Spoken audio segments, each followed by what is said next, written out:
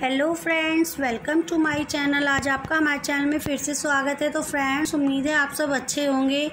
तो चलिए, आज हम फिर से फिजिक्स का नया चैप्टर लेके आपके सामने आए हैं। उम्मीद है आपको हमारी वीडियोस पसंद आ रही होंगी। तो चलिए, नया चैप्टर शुरू करते हैं। हमारा नया चैप्टर है साउंड व्हाट इज़ साउंड हम आपको इसके फॉर्मूले और इसके बारे में डिटेल में बताएँगे। पर डिटेल में बताने से पहले आप सभी से रिक्वेस्ट है कि आप हमारी वीडियो को लाइक कर दीजिए, शेयर कर दीजिए और कमेंट कर दीजिए। और अगर आप में से कोई हमारे चैनल पर नया है तो आपसे रिक्वेस्ट है कि आप हमारे चैनल को सब्सक्राइब करना ना भूलें।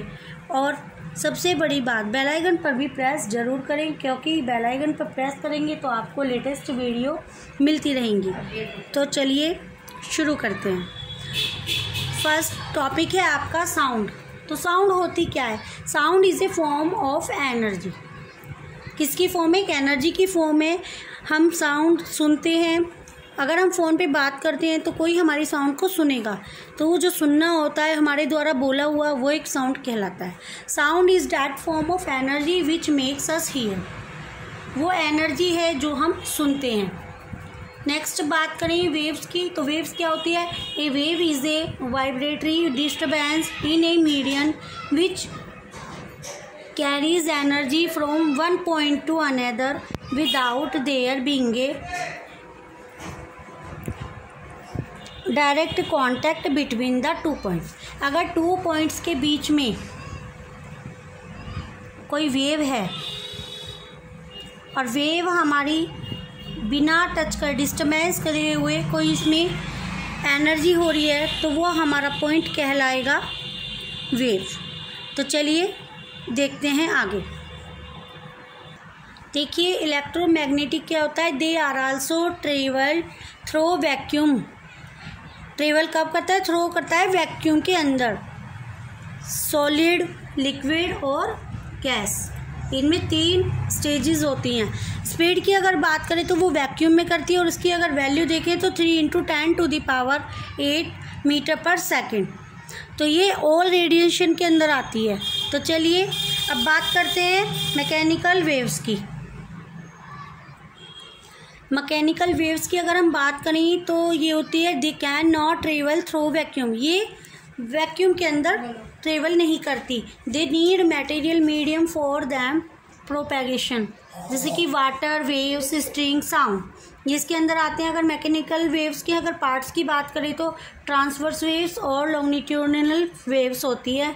तो हम देखेंगे कि इन दोनों के बारे में कि इनमें क्या मैटर होता है और किस तरीके से हम इसको समझ सकते हैं। तो चलिए देखते हैं। फ़र्स्ट पॉइंट है आपका the waves which travel along a spring जब वेव्स चलती है कि स्प्रिंग के अंदर इट इज़ पुश्ड अगर हम उसे पुश करें या पुल करें at once and last point तक आर लॉन्गिट्यूडनल वेव्स वो हमारी लॉन्गिट्यूडनल वेव्स कहलाती है। अगर हम सेकंड पॉइंट की बात करें तो देखें। The sound waves in air are longitudinal waves अगर वेव्स साउंड चलती है एयर में तो भी हमारी क्या कहलाती है? लॉन्गिट्यूडनल वेव्स कहलाती है।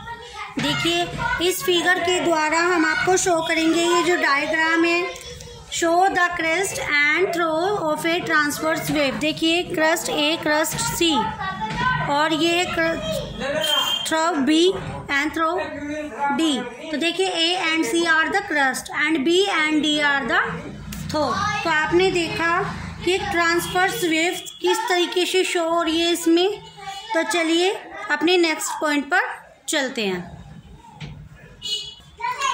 देखिए नेक्स्ट टॉपिक है हमारा wavelength the minimum distance in which a sound wave repeat itself is called its wavelength wavelength क्या होती है?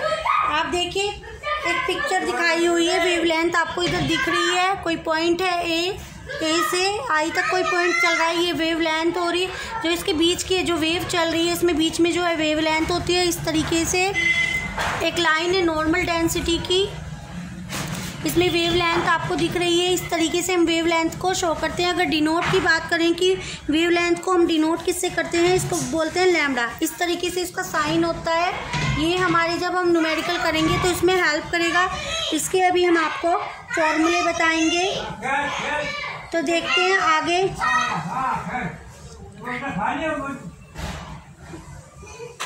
एस आई की अगर बात करें तो इसकी एस आई होती है मीटर। ठीक है? तो चलिए आगे चलते हैं।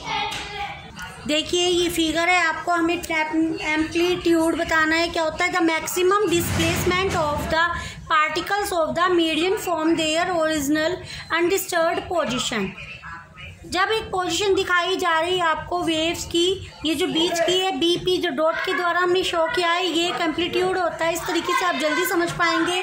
When a wave passes through the median is called amplitude of the waves एक वेव्स का जो मीडियन का है हो रही है वेव उसके मीडियन बीच का जो हिस्सा है, वो हमारा एक कहलाता है एम्पलीट्यूड आप इस तरीके से समझिए, ये जो बीपी शो रहा है, एक एम्पलीट्यूड है, या एफ़ आर को हम एम्पलीट्यूड कह सकते हैं। एस आई की अगर हम बात करें तो इसका एस आई भी मीटर का ही शो होता है। देखिए फ्रेंड्स अगला टॉपिक है हमारा time period what is time period the time required to produce one complete wave जब प्रोड्यूस होता है टाइम एक कंप्लीट वेव करने के लिए तो वो हमारा टाइम पीरियड कहलाता है उस वेव का. The time taken to complete one vibration is called time period आप इस तरीके से भी इसको बोल सकते हैं. अगर हम डिनोट की बात करें कि टाइम को किससे डिनोट करते हैं? टी से. आप ये सब जानते हैं और ऐसा ही इसमें ज़रूरी होता है, इसका ऐसा ही होता है टाइम पीरियड का सेकेंड तो चलिए, अब अगला टॉपिक देखते हैं। अगला टॉपिक है हमारा फ्रीक्वेंसी देखिए फ्रीक्वेंसी क्या होती है? The number of complete waves जो नंबर होते हैं, हमारे कंप्लीट वेव्स करने के लिए तो प्रोड्यूस करते हैं इन वन सेकंड एक सेकंड में जो नंबर प्रोड्यूस होते हैं वेव्स के is called frequency of the wave आप समझ रहे हैं? और फ्रीक्वेंसी को हम किससे डिनोट करते हैं? एफ़ से। और अगर इसके एस आई की बात करें हम तो देखिए एस आई क्या होता है इसका?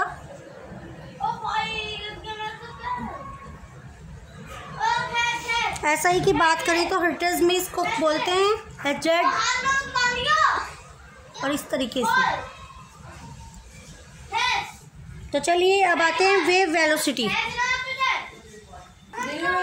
वेव वेलोसिटी आपकी देखिए the distance travel by a wave in one second is called velocity of the wave वो वेलोसिटी कहलाती है जो डिस्टेंस ट्रेवल होती है एक वेव के द्वारा एक सेकेंड में। तो देखिए डिनोट किससे करते हैं? वी से डिनोट करते हैं। अगर ऐसा यूनिट की बात करें तो मीटर पर सेकेंड या फिर हम इसको ऐसे भी लिख सकते हैं मीटर पर सेकेंड इनवर्स देखिए, इस तरीके से। तो चलिए नेक्स्ट टॉपिक पे देखते हैं। पहले इसका फॉर्मूला बता देंगे जो आपको न्यूमेरिकल में हेल्प करेगा। V is equal to D upon T जहाँ पर d हमारी डिस्टेंस है। और t हमारा टाइम है। तो देखिए, v is equal to mu into lambda भी एक फॉर्मूला होता है जो आपको हेल्प मिलेगी न्यूमेरिकल में। तो चलिए। देखिए अगर हम साउंड की बात करें तो टू टाइप्स की साउंड होती है। Audible sound and inaudible sound audible sound कौन सी होती है? जो हम सुन सकते हैं। और इनऑडिबल साउंड कौन सी होती है? जो हम सुन नहीं सकते। तो देखिए फ़र्स्ट वाली जो है हमारी, वो ह्यूमन ईयर होती है, वो ट्वेंटी हर्टर्स से लेके ट्वेंटी किलो हर्टर्स तक होती है। इसमें हम ये भी बोल सकते हैं, इसे हम सोनिक साउंड भी कह सकते हैं। नेक्स्ट अगर हम बात करें, जिस साउंड को हम सुन नहीं सकते, उसे हम अल्ट्रासोनिक साउंड कहते हैं। और इसकी हम आपको एप्लीकेशंस के बारे में बताएँगे अल्ट्रासोनिक साउंड में कितनी एप्लीकेशन होती है और किस किस तरीके से हम इसको समझ सकते हैं। देखिए applications of ultrasonic sound ultrasonic sound की अगर हम बात करें कि अल्ट्रासोनिक साउंड में क्या होता है एक बैट है बैट देखिए इस तरीके से किसी फ्लाइंग इंसेक्ट के साथ अट्रैक्ट कर रहा है तो इसमें जो फ़ंक्शन हो रहे हैं वो अल्ट्रासोनिक से वजह से हो रहे हैं और ये अपनी तरफ़ इसको आकर्षित कर रहा है इस तरीके से ये दोनों एक दूसरे के कांटेक्ट में हैं तो distance D one and D two होगी। तो चलिए सेकंड है इसका सोनर सिस्टम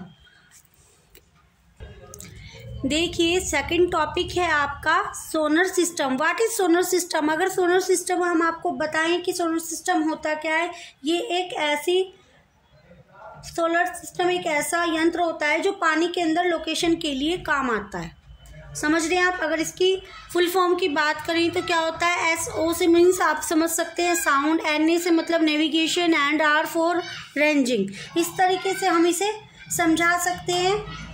तो देखिए देखिए सोनर सिस्टम आप इस फिगर के द्वारा समझ सकते हैं सोनर सिस्टम क्या होता है। इधर देखिए, यहाँ पे वाटर है, ये सारा, ये वाटर दिखाया गया है। और इधर आपको सोनर दिख रहा है यहाँ पे, ये एक सोनर है। और इधर आप देख सकते हैं ट्रांसमीटर और रिसीवर दिखाए गए हैं। और लास्ट में इधर देखिए अल्ट्रासाउंड पल्सिस है और ये रिफ्लेक्टेड अल्ट्रासाउंड पल्सिस है। बॉटम ऑफ़ सी इधर है आपका तो to measure the depth of a sea एक समुद्र की चौड़ाई या डेप्थ देखने के लिए हम यूज़ करते हैं सोनर सिस्टम का।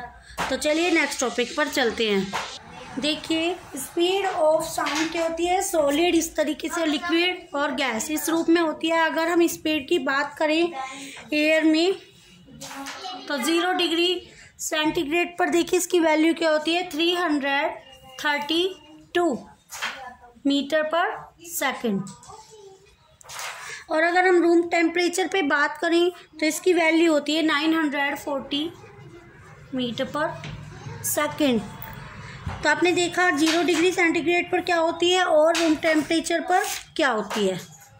देखिए अगर ऑल फॉर्मूले की बात करें हम साउंड के तो देखिए एक साउंड इधर से हो रही है, आवाज़ आ रही है इधर से तो एक इधर लिसनर है, और अगर हमारी डी यानी डिस्टेंस इधर है तो हमारी स्पीड का फॉर्मूला क्या होता है? Speed V is equal to D upon T और अगर हम इसकी एस आई यूनिट की बात करें तो मीटर पर सेकेंड उम्मीद है आपको ये वीडियो पसंद आ रही होगी लास्ट तक देखते रहिए। और अगर आप हमारे चैनल पर नए हैं तो प्लीज़ सब्सक्राइब करना ना भूलें तो चलिए रिफ्लेक्शन ऑफ़ साउंड देखते हैं। अगर हमारी डिस्टेंस डबल हो जाती है तो स्पीड का फॉर्मूला हमारा थोड़ा सा चेंज हो जाता है। V is equal to D हमारी टू डी हो जाएगी और टाइम हमारा सेम रहेगा। तो v is equal to two D upon T ये आपको न्यूमेरिकल में फॉर्मूले बहुत हेल्प करेंगे। उम्मीद है आप सबको ये वीडियो पसंद आ रही होगी। तो चलिए नेक्स्ट फॉर्मूले पर चलते हैं। नेक्स्ट फॉर्मूले की अगर हम बात करें तो देखिए एक वेवलेंथ दिखाई हुई है आपको। तो वेवलेंथ का फॉर्मूला जो होगा nu into lambda V is equal to nu into lambda आपका फॉर्मूला सेकंड है। ये भी आपको न्यूमेरिकल में हेल्प करेगा जब आप क्वेश्चन करेंगे। नेक्स्ट आपका T is equal to one upon nu ये इसको इस तरीके से भी बोल सकते हैं।